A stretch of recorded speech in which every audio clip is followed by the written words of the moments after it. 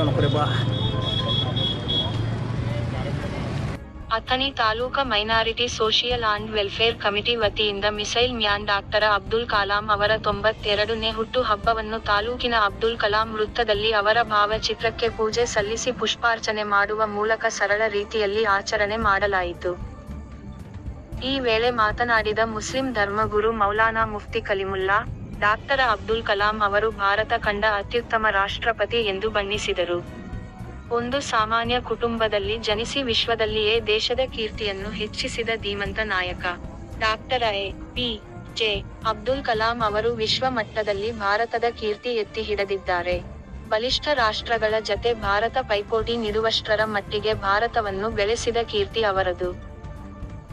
ಅದಕ್ಕೆ ಅಬ್ದುಲ್ ಕಲಾಂ ಅವರ ಪರಿಶ್ರಮ ಕಾರಣ ಅಬ್ದುಲ್ ಕಲಾಂ ಅವರು ಶಿಕ್ಷಣಕ್ಕೆ ಹೆಚ್ಚಿನ ಮಹತ್ವ ನೀಡಿದವರು ಒಬ್ಬ ಕಲಿತ ವ್ಯಕ್ತಿ ದೇಶಕ್ಕಾಗಿ ಏನು ಬೇಕಾದರೂ ಕೊಡುಗೆಯನ್ನು ನೀಡುವಂತಾಗುತ್ತಾರೆ ಇಂದಿನ ಯುವ ಪೀಳಿಗೆ ಅವರ ಆದರ್ಶ ಮತ್ತು ದೇಶಭಕ್ತಿಯನ್ನು ಮೈಗೂಡಿಸಿಕೊಂಡು ದೇಶ ರಕ್ಷಣೆಯಲ್ಲಿ ತಮ್ಮನ್ನು ತೊಡಗಿಕೊಳ್ಳಬೇಕೆಂದರು doctor A P J Abdul Kalam sahab के हैं जिन्होंने ये कलिमात अपनी ज़िंदगी में कहकर आने वाली पूरी पीढ़ी को आने वाली पूरी नस्ल को अपनी ज़िंदगी का किया हुआ सब कुछ पेश कर दिया और पूरी दुनिया को पूरी इंसानियत को ये पैगाम दिया कि दुनिया में आने के बाद आदमी के पास सब कुछ नहीं होता है सब कुछ उसको हासिल करना होता है।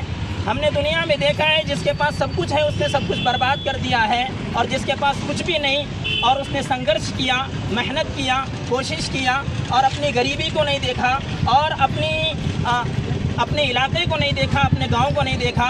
बल्कि उसके दिल में एक फ़िक्र थी कि किस तरीके से मुश्किल हालात से लड़कर अपने मुल्क को मैं क्या कुछ कर सकूँ। इसी फ़िक्र में वो तालीम हासिल करते रहे। आज लोग बोलते हैं कि हमारे घर में परिवार बहुत ज़्यादा है, हमारे लिए पढ़ाई मुश्किल है। लेकिन जैसा अभी बहुत सारे साथी हमारे बात कर रहे थे, उनकी बातों में ये बात आई पेपर बेचकर और जहाँ जहाँ रोशनी मिलती, वहाँ से उन्होंने बैठकर रोशनी हासिल करके, तालीम को हासिल करते हुए अपना एक प्लान लेके चलते रहे कि मैं इस देश का एक पायलट बनूँगा। लेकिन उस पायलट में वो नाकाम हुए और उसके बाद किसी गुरु ने उनको ये समझाया कि नाकामी यहीं पर ख़त्म नहीं होती, नाकामी पर अपनी ज़िंदगी ख़त्म नहीं की जाती। जहाँ अपने को नाकामी मिलती है, वहीं से अपनी ज़िंदगी का एक आगाज़ करना होता है। ये एक मशवरा लेकर उन्होंने वहाँ से इंजीनियरिंग की पढ़ाई शुरू की और वक्त के बहुत बड़े साइंस बने और इस मुल्क को उस मकाम तक पहुँचाया। 1980 की बात है कि ये मुल्क उन पाँच देशों में बन गया। हमारा इंडिया हमारा भारत उन पाँच मुल्कों में बन गया जिन मुल्कों के पास मिसाइल था। ನಂತರ ಮಾತನಾಡಿದ ಮಾಜಿ ಶಾಸಕ ಶಹಾಜಹಾನ ಡೊಂಗರಗಾನ್ವ ಡಾಕ್ಟರ್ ಅಬ್ದುಲ್ ಕಲಾಂ ಅವರ ಜನ್ಮದಿನವನ್ನು ಆಚರಿಸುವ ಉದ್ದೇಶ ಇಷ್ಟೇ. ಅವರ ಸಂದೇಶ, ಅವರ ಮಾರ್ಗದರ್ಶನ, ಅವರ ಜೀವನ ಚರಿತ್ರೆ ಅವರು ನಮ್ಮ ದೇಶಕ್ಕೆ ನೀಡಿರುವ ಕೊಡುಗೆ ಬಗ್ಗೆ ಈಗಿನ ಯುವ ಪೀಳಿಗೆಗೆ ಪರಿಚಯಿಸು. ಅವರು ನಡೆದು ಬಂದ ದಾರಿಯಲ್ಲಿ ಈಗಿನ ಯುವ ಪೀಳಿಗೆ ತಮ್ಮ ಜೀವನದಲ್ಲಿ ಅನುಸರಿಸಿಕೊಂಡರೆ ನಮ್ಮ ದೇಶ ಇನ್ನೂ ಉನ್ನತ ಸ್ಥಾನಕ್ಕೆ ಒಯ್ಯಬಹುದಾಗಿದೆ ಎಂದು ತಿಳಿಸಿದರು. ಈ ಒಂದು ಕಾರ್ಯಕ್ರಮದಲ್ಲಿ ನಿಜವಾಗಿ ನಮಗೆ ಬಹಳ ಸಂತೋಷ ಅನ್ನಿಸ್ತದೆ. ಇದು ಆಚರಣೆ ಜಯಂತಿ ಮಾಡುವಂಥದ್ದು ನಮ್ಮ ದೇಶದ ಮಹಾನ್ ನಾಯಕರದ ಉದ್ದೇಶ ಏನಪ್ಪ ಅಂತಂದ್ರೆ ಜೀವನ ದರ್ಶನ. ಅವರು ಮಾಡಿರುವಂಥದ್ದು ನಮ್ಮ ದೇಶದ ಕೊಡುಗೆ, ಏನು ಕೊಟ್ಟಿದ್ದಾರೆ ದೇಶಕ್ಕೆ ಅನ್ನುವಂಥದ್ದು. ಮತ್ತು ಅವರ ಸಂದೇಶ ಮಾರ್ಗದರ್ಶನ. ಇದು ನೆನಪಿಸುವಂಥದ್ದು ಒಂದು ಮಹತ್ವಪೂರ್ಣ ಕಾರ್ಯಕ್ರಮ.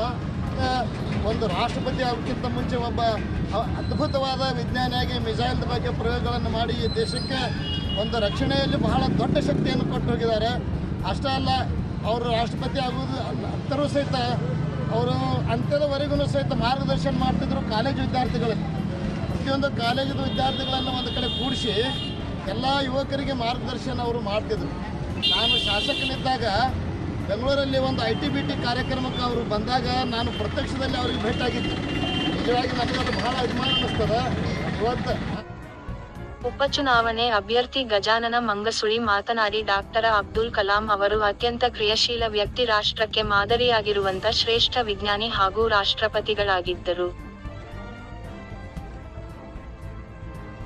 ದೇಶದ ಸ್ವಾತಂತ್ರ್ಯ ನಂತರ ನಾವು ಅನೇಕ ಮಹನೀಯರನ್ನು ಕಂಡಿದ್ದೇವೆ. ಆ ಎಲ್ಲ ಮಹನೀಯರಲ್ಲಿ ಡಾಕ್ಟರ್ ಅಬ್ದುಲ್ ಕಲಾಂ ಅವರು ಅಗ್ರಗಣ್ಯರಲ್ಲಿ ನಿಲ್ಲುತ್ತಾರೆ. ಏಕೆಂದರೆ ಒಬ್ಬ ರಾಷ್ಟ್ರಪತಿಯಾಗಿ ಹೇಗೆ ರಾಷ್ಟ್ರವನ್ನು ಮುನ್ನಡೆಸಬೇಕು ಎಂಬುದನ್ನು ನಡೆಸಿದವರು ಹಾಗೂ ಒಬ್ಬ ವಿಜ್ಞಾನಿಯಾಗಿ, ಒಬ್ಬ ಶ್ರೇಷ್ಠ ಸಾಹಿತಿಯಾಗಿ ಇವತ್ತು ನಮ್ಮ ದೇಶದ ಸೈನ್ಯ ಪಡೆಗೆ ಶಕ್ತಿಯನ್ನು ಕೊಡುವಲ್ಲಿ ಯಾರಾದರೂ ಕಾರಣೀಭೂತರಿದ್ದರೆ ಅವರು ಡಾಕ್ಟರ್ ಅಬ್ದುಲ್ ಕಲಾಂ ಎನ್ನಬಹುದು. ನಾವು ಈಗಲೂ ಅವರನ್ನು ಮಿಸೈಲ ಮ್ಯಾನ್ ಆಫ್ ಇಂಡಿಯಾ ಅಂತ ಕರೆಯುತ್ತೇವೆ. ತಮ್ಮ ಅದ್ಭುತ ಕ್ರಿಯಾಶಕ್ತಿಯನ್ನವನ್ನು ಧಾರೆಗೆಳೆದರು. ರಾಷ್ಟ್ರಪತಿಯಾಗಿ ಕಾರ್ಯನಿರ್ವಹಿಸಿದರು ದುಡ್ಡು ಆಸ್ತಿ ಅಂತ ಮಾಡಲಿಲ್ಲ. ನಾವು ಕಂಡಂತ ಅತ್ಯಂತ ಸರ್ವಶ್ರೇಷ್ಠ ವ್ಯಕ್ತಿಯಾಗಿದ್ದರು ಎಂದು ತಿಳಿಸಿದರು. ನಮ್ಮ ರಾಷ್ಟ್ರಕ್ಕೆ ಒಂದು ಮಾದರಿಯಾಗಿರ್ತಕ್ಕಂಥ doctor A P J Abdul Kalam ಅವರ ಜನ್ಮದಿನವನ್ನು ನಾವು ಇವತ್ತೆಲ್ಲ ಆಚರಣೆ ಮಾಡ್ತಾ ಇದ್ದೀವಿ. ನಿಜವಾಗಿಯೂ ಸ್ವಾತಂತ್ರ್ಯ ನಂತರ ಇವತ್ತು ನಾವೇನು ಕಂಡಿದ್ದೀವಿ? ಅನೇಕ ಮಹನೀಯರನ್ನು ನಾವು ಕಂಡಿದ್ದೀವಿ. ಆ ಎಲ್ಲ ಮಹನೀಯರಲ್ಲಿ ಅಗ್ರಗಣ್ಯರಾಗಿ ನಿಲ್ಲುವರು ಅಂತಂದರೆ ನಮ್ಮ ಕಲಾಂ ಸಾಹೇಬ್. ಯಾಕಂದರೆ ಒಬ್ಬ ರಾಷ್ಟ್ರಪತಿಯಾಗಿ ಹೆಂಗಿರಬೇಕು ಅಂತಂದ್ರೆ ಕಲಾಂ ಅವ್ರು ಹೆಂಗಿದ್ರಲ್ಲ ಹಂಗಿರಬೇಕು ಅನ್ನುವಂಗೆ ಅವರು ಈ ಒಂದು ರಾಷ್ಟ್ರವನ್ನು ಮುನ್ನಡೆಸಿದ್ದಾರೆ. ಇವತ್ತು ನಾವೆಲ್ಲ ನೋಡ್ತಿರ್ತೀವಿ, ಒಬ್ಬ ಅದ್ಭುತ ವಿಜ್ಞಾನಿಯಾಗಿ, ಒಬ್ಬ ಶ್ರೇಷ್ಠ ಸಾಹಿತಿಯಾಗಿ. ಇವತ್ತು ನಮ್ಮ ದೇಶ ಇಷ್ಟೊಂದು ನಮ್ಮ ಸೈನ್ಯ ಪಡೆಗೆ ಒಂದು ಶಕ್ತಿಯನ್ನು ಕೊಡಲಿಕ್ಕೆ ಕಾರಣೀಭೂತರವರು ಯಾರಾದರೂ ಇದ್ದರೆ ಕಲಾಂ ಸಾಹೇಬ್ ಯಾಕಂದರೆ ಮಿಸೈಲ್ ಮ್ಯಾನ್ ಆಫ್ ಇಂಡಿಯಾ ಅಂತ ಅವ್ರಿಗೆ ಹೇಳ್ತೀವಿ. ನಂತರ ಮಾತನಾಡಿದ ಅಥಣಿ ಕಾಂಗ್ರೆಸ್ ಬ್ಲಾಕ್ ಅಧ್ಯಕ್ಷ ಸಿದ್ಧಾರ್ಥ್ ಶಿಂಗೆ, ಡಾಕ್ಟರ್ ಅಬ್ದುಲ್ ಕಲಾಂ ಅವರು, ಹಿಂದೂ ಮುಸ್ಲಿಂ ಆಗದೆ ಅವರೊಬ್ಬರು ಶ್ರೇಷ್ಠ ಭಾರತೀಯರಾಗಿದ್ದರು ಅವರು ತಮ್ಮ ಜೀವನದಲ್ಲಿ ಎಂದೂ ಕೂಡ ನಾನು ಮುಸ್ಲಿಂ ಎಂದು ಹೇಳಿಕೊಂಡಿರಲಿಲ್ಲ. ತನ್ನ ಕೊನೆಯ ಉಸಿರು ಇರುವವರೆಗೂ ದೇಶದ ಸೇವೆಯಲ್ಲಿ ತೊಡಗಿಸಿಕೊಂಡವರು ದೇಶದ ಪ್ರಗತಿಗಾಗಿ, ದೇಶದ ಏಳಿಗೆಗಾಗಿ ಹಾಗೂ ದೇಶದ ಶಾಂತಿಗಾಗಿ ತಮ್ಮ ಅಪಾರವಾದ ಅನುಭವವನ್ನು ಕೊನೆಗೆ ಎಪಿಜೆ ಕಲಾಂ ಅವರು ಒಬ್ಬ ರಾಷ್ಟ್ರಪತಿಯಾಗಿ ಕೂಡ ಜನಸೇವೆ ಸಲ್ಲಿಸಿದವರು. ನಾವೆಲ್ಲರೂ ಅವರ ವಿಚಾರಧಾರೆಯನ್ನು ಅಳವಡಿಸಿಕೊಳ್ಳುವಂತಾಗಬೇಕು ಎಂದು ತಿಳಿಸಿದರು. ಅವರು ಮುಸಲ್ಮಾನರು ಆಗಿದ್ದಿಲ್ಲ ಹಿಂದೂನೂ ಆಗಿದ್ದಿಲ್ಲ. ಒಬ್ಬ ಶ್ರೇಷ್ಠ ಮುಸಲ್ಮಾನರು ಆಗಿದ್ದರು ಒಬ್ಬ ಶ್ರೇಷ್ಠ ಹಿಂದೂನೂ ಆಗಿದ್ದರು ಯಾಕಂದ್ರೆ ಅವರ ಬಾಲ್ಯದೊಳಗೆ ಬ್ರಾಹ್ಮಣ ಪರಂಪರೆಯ ರಾಮೇಶ್ವರ ದೇವಾಲಯಗಳ ಊರದು.